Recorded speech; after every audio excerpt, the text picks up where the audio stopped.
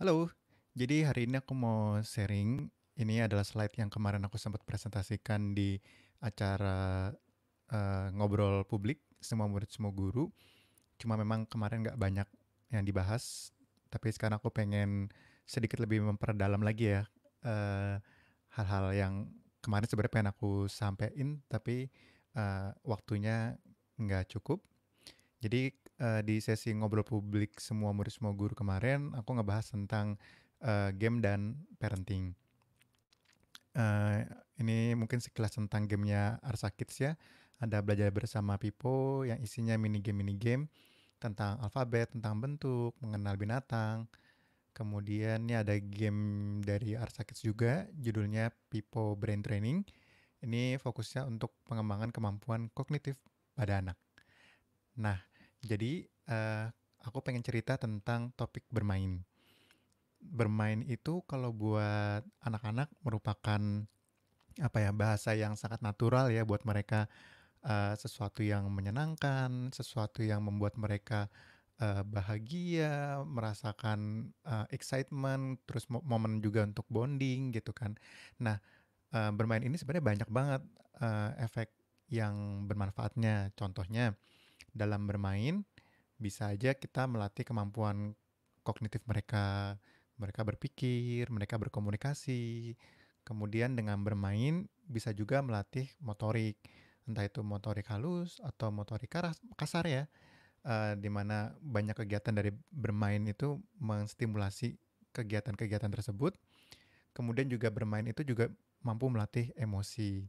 Nah, ini yang paling penting itu tadi tuh aku sempat mention ya, bermain itu adalah momen yang apa ya momen komunikasi atau media yang paling romantis untuk bisa bonding antara anak dengan orang tuanya.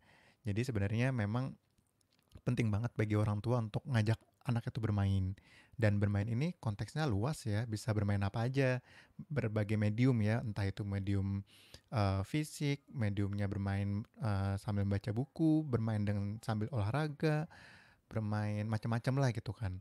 Nah, kalau kita ngomong video games itu basically adalah hanya satu dari bentuk medium dari bermain, yaitu dalam medium digital. Nah, jadi sebenarnya perbedaannya hanya di mediumnya aja nih, yang mana setiap medium itu emang punya kelebihan dan kekurangannya masing-masing. Misal, kalau di medium digital, kelebihannya adalah kontennya lebih mudah diakses. Jadi untuk mendapatkan materi pelajaran tentang uh, tata surya, tentang sejarah, tentang biologi, tentang fisika itu ya, itu mudah sekali didapatkan secara digital.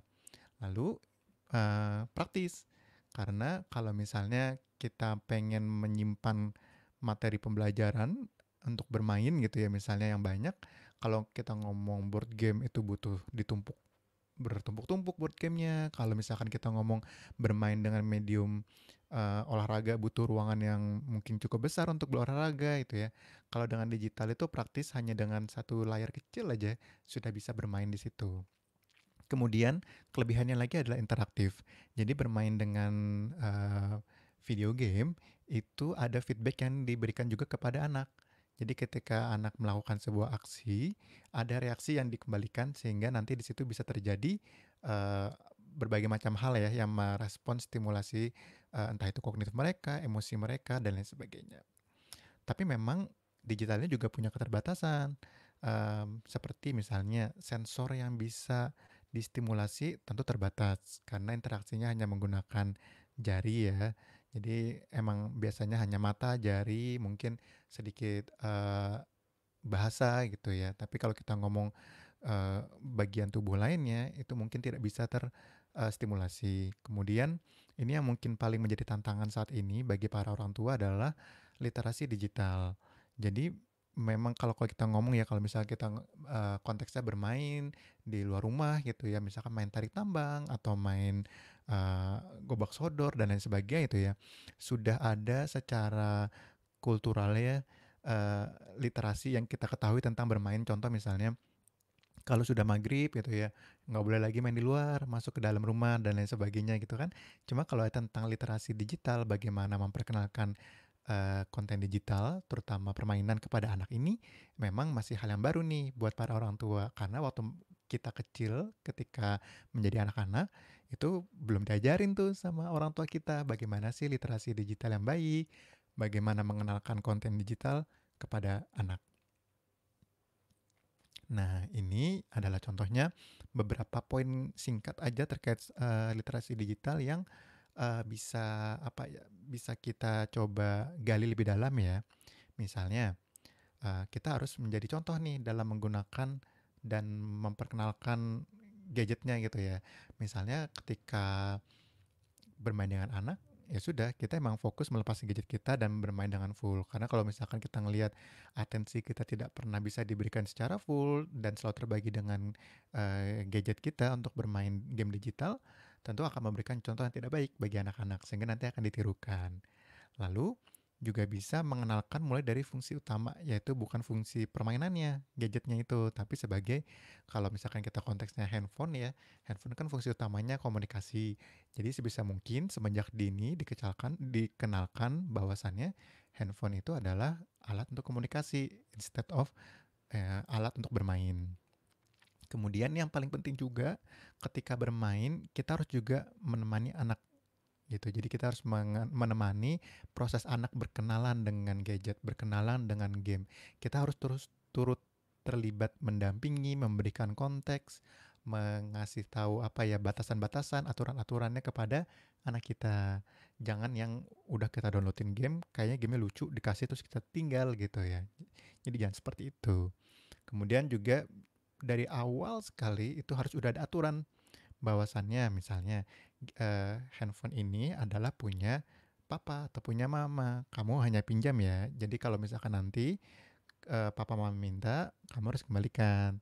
Jadi sebisa mungkin jangan yang dijadikan hak milik gitu atau misalkan waktunya kapan waktu diperbolehkan bermain, kapan tidak boleh itu juga harus dibuat. Nah, ini ada guideline yang bisa dipakai dari Asosiasi Dokter Anak di Amerika terkait uh, durasi penggunaan layar terkait dengan usianya. Dan ini beberapa tahun sekali selalu diupdate ya, melihat perkembangan sosial, perkembangan ekonomi, perkembangan teknologi gitu ya. Contohnya kayak dulu uh, anak 18 bulan ke bawah itu awalnya nggak boleh sama sekali ber, terpapar dengan layar, tapi direvisi di uh, kecuali untuk video chat dengan keluarga atau uh, teman karena dilihat lebih banyak efek positifnya terutama kalau misalnya um, anak yang misalkan ibunya atau bapaknya harus uh, kerjanya jauh pulangnya jarang itu better uh, komunikasi dengan handphone juga itu ada aturan juga untuk 18 bulan sampai 2 tahun, 2 sampai 5 tahun dan seterusnya. Nah, ini yang juga gak kalah penting. Ini salah satu bagian dari literasi digital yang mungkin akan coba aku share adalah memilihkan game buat anak. Ini mungkin praktikal tips aja bahwasannya ketika kita milihkan game itu kita harus perhatikan kriteria usia permainan. Jadi kalau misalkan teman-teman download game dari Apple Store atau Google Play, itu ada kategori game based on usia. Ada yang 5 plus, ada yang eh sorry di bawah 5 tahun, ada yang 6 sampai berapa tahun aku lupa ada segmen-segmennya. Tapi itu harus diperhatikan karena emang gamenya didesain untuk anak sesuai dengan uh, tumbuh kembangnya.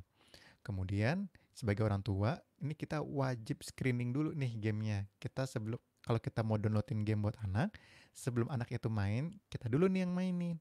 Atau enggak maininnya barengan. Jadi kita mainin sambil anak yang ngeliatin atau sebaliknya anaknya mainin sambil kita ngeliatin fitur-fitur di dalamnya aman nggak ya untuk anak mainkan.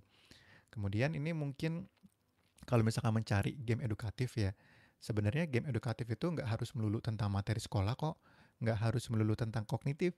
Banyak game-game lain yang bisa melatih kreativitas, bisa melatih banyaklah komponen yang bisa dilatih, walaupun judulnya bukan game edukasi, asalkan tadi itu orang tuanya sudah screen lebih dulu dan bisa memandu proses anak bermain game. Kemudian ketika nanti memilih game sebisa mungkin cari yang uh, berbayar daripada yang menggunakan iklan karena iklan yang dimunculkan di depan layar itu yang dilihat sama anak kita itu itu kadang kita tidak bisa mengontrol apa yang keluar. Bisa jadi yang keluar adalah hal yang bertentangan dengan aturan yang ada di dalam keluarga kita. Terakhir, uh, sorry ini masih ada satu lagi ya, uh, biarkan anak memilih sendiri permainannya.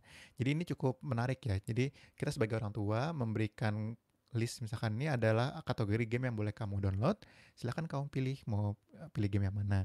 Karena ini juga menjadi salah satu cara agar anak merasa dihargai. Nah, jadi memang peran filtering orang tua itu sangat penting. Nah, yang terakhir ini mungkin tambahan ya, cari yang kalau bisa ada fitur report dan kontrolnya sehingga orang tua juga bisa tahu uh, bagaimana behavior anak itu bermain dan konten-konten apa aja di dalam game itu yang pengen disajikan buat anaknya. Nah, uh, mungkin sebagai penutup aku pengen sharing sebuah video uh, terkait dengan uh, ini pengalaman pribadi aja ya. Bagaimana kalau aku sama anak aku uh, kita main bareng di medium game digital.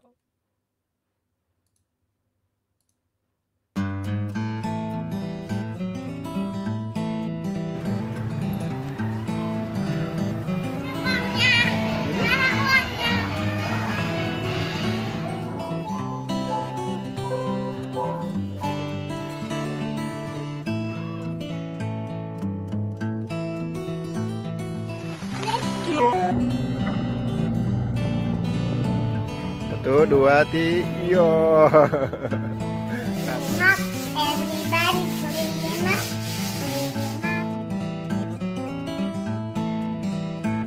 Warnanya mau warna apa?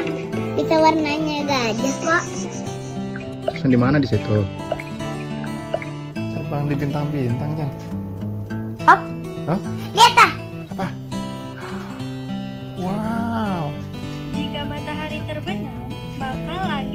Oh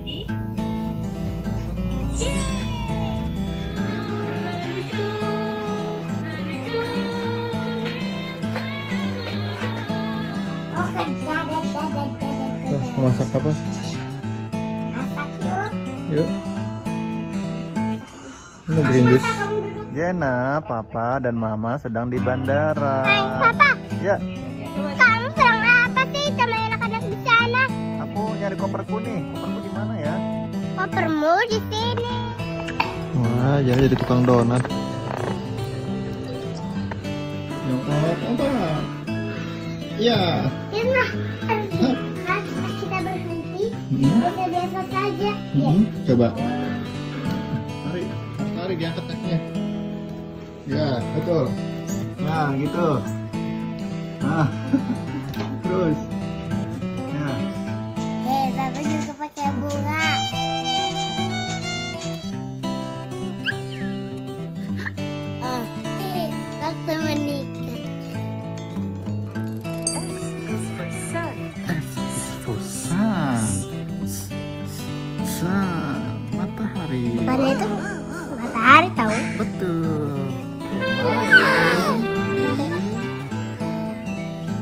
Toilet.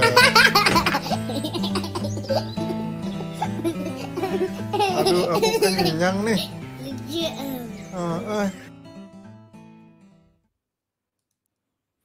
Itu tadi eh, contoh aja ya bagaimana proses bermain dengan anak gitu ya. Sebisa mungkin kita sebagai orang tua terlibat di sampingnya, mendampingi sampai nanti usia di mana anak itu sudah mampu untuk dilepas eh, bermain mandiri.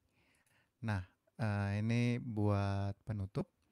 Ini yang penting banget buat para orang tua untuk dipahami bahwasannya video game bukan pengganti interaksi anak dengan orang tua. Nah, ini kadang-kadang suka mikir, kok anakku eh, kecanduan game gitu ya, disuruh berhenti nggak mau gitu kan. Itu mungkin kita sebagai orang tua bisa introspeksi gitu kan. Bagaimana sih cara kita memberikan game kepada anak kita? Apakah kita menjadikan game sebagai alat instan untuk bikin anak anteng? Misalnya lagi nangis apa udah dikasih game biar diem. Kita lagi capek pengen me time, udah dikasih game biar diem. Jadi atau kita selalu hadir nih seutuhnya buat anak karena kalau misalnya orang tua itu hadir seutuhnya buat anak yakin deh nggak mungkin anak itu akan milih bermain game dibandingkan bermain dengan orang tuanya jadi buat para orang tua pastikan untuk tetap hadir menemani proses anak bermain karena itu adalah momen paling romantis untuk bonding dengan anak paling itu sharing yang kemarin sempat aku sampaikan juga di sharing session semua murid semua guru Semoga ilmunya bermanfaat dan bisa dipraktekkan sehingga banyak orang tua di sana yang bisa memberikan efek positif dari bermain menggunakan medium digital. Makasih.